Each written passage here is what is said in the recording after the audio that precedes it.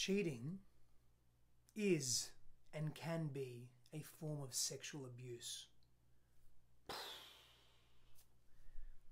I've been thinking about this and it's really hit me hard because in my past, I have so much infidelity, so much cheating, so much shadow like behavior.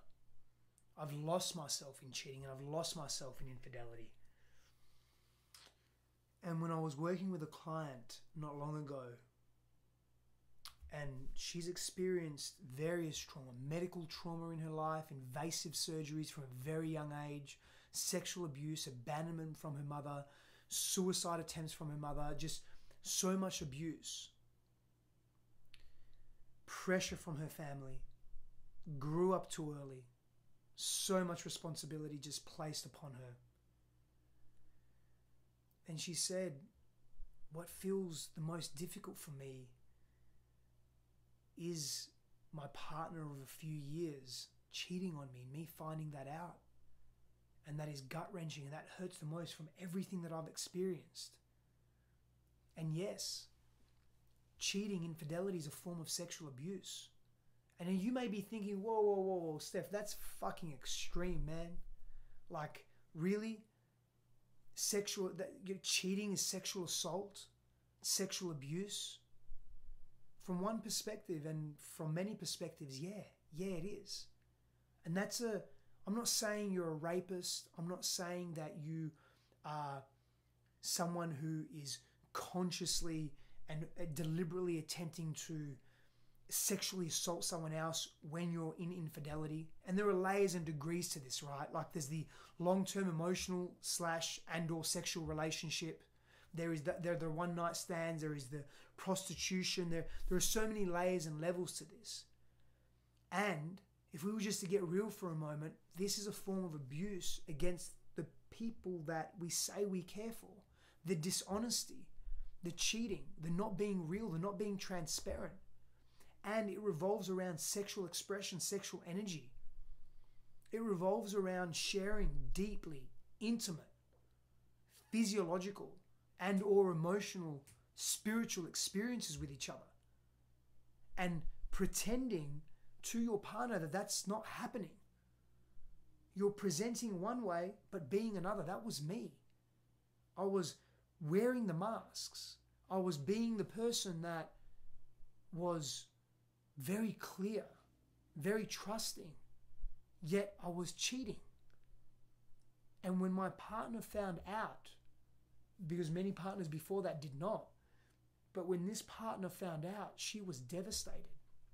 All of her old trauma came up from the past of her father abandoning her and her father cheating on her mother and cheating on all the other women that he was with that brought up all that abuse that she had experienced, the neglect, the abandonment, the rejection. And I made those choices. I made those choices to not be real and to not be honest. I made those choices to hide. I made those choices to be in the shadow. I didn't own that. I did later, but not until after I had owned the abuse. So that, that's a that's a big statement.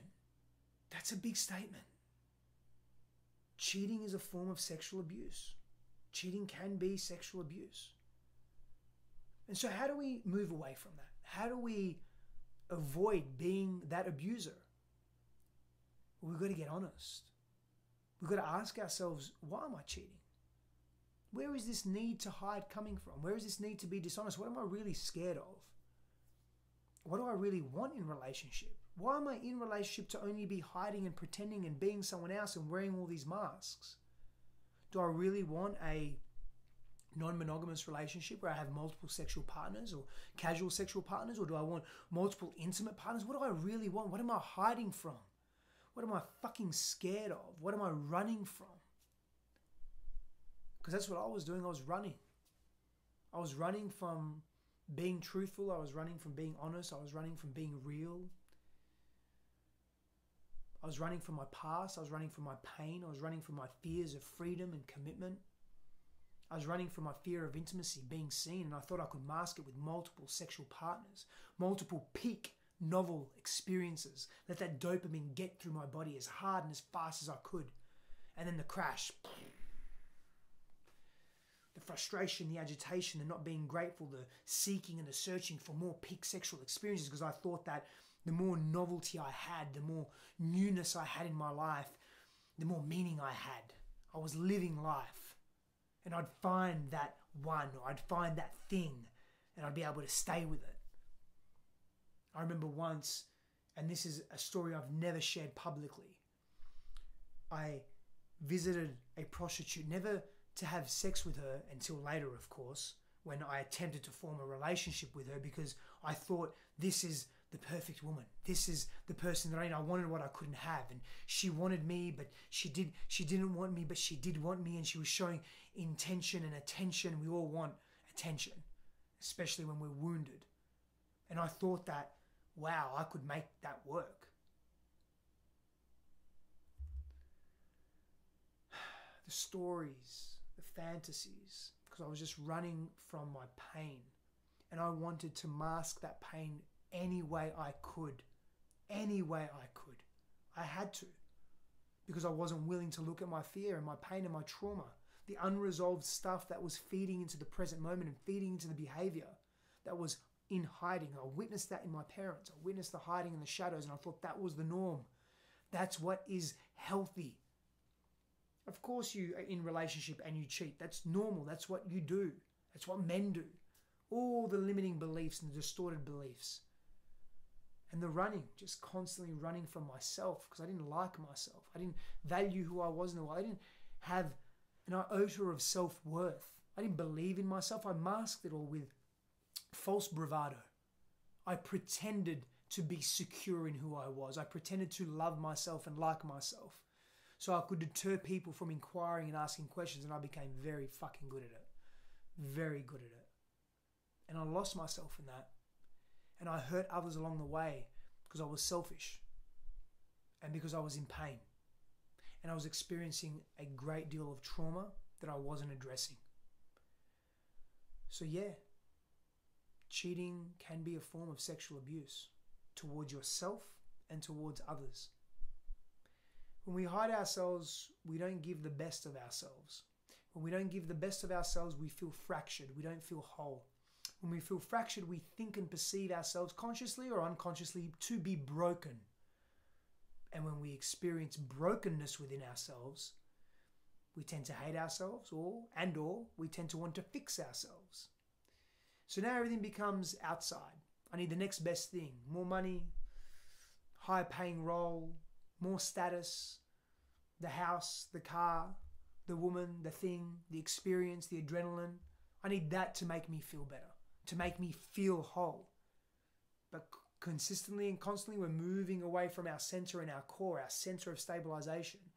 Because when we look at our stuff and we look at our stuff within, we ground and we stabilize ourselves. And now we've got to be rooted. Now we've got to face our shit. And we don't want to do that, so we want to get flighty. And we want to keep focusing on this and focusing on that and focusing on this and focusing on that and focusing on this and focusing on all the things outside of the thing that we actually need to focus on, which is the thing that will give us the healing and help us feel whole, which is the very thing that we want, but paradoxically we run from because we're so fucking scared of it, because it's so unfamiliar to us, and we also don't want to change because change is scary because it's unfamiliar. Familiarity is safe.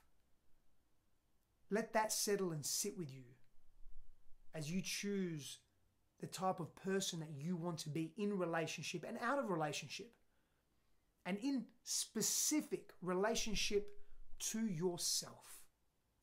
To yourself.